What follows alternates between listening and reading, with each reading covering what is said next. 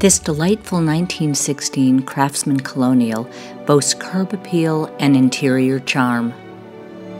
Walk into the Three Seasons porch, providing additional living space and a warm, relaxing setting. The entry foyer showcases inlaid hardwood floors present throughout the home. Off the foyer is a dining room where a bay window helps to create an airy atmosphere for all of your meals. The spacious living room features oversized windows and a built in. The eat in kitchen boasts a lovely tile backsplash and beautiful wood cabinetry. By the kitchen, you can walk out to the private yard with mature plantings and a two car garage. The upper level contains the master bedroom, offering extensive space and a laundry area.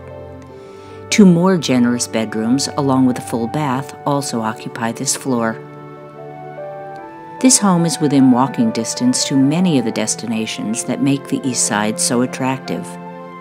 The locally owned boutiques and eateries along Hope Street are feet away, while down the road are the popular stores of Thayer Street. Wayland Square is just over a mile away and offers even more local business options.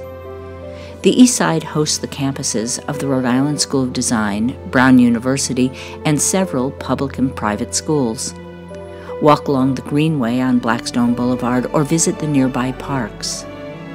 This quiet home is minutes from downtown Providence, where you can do dinner and a show and experience more of the city's renowned culture.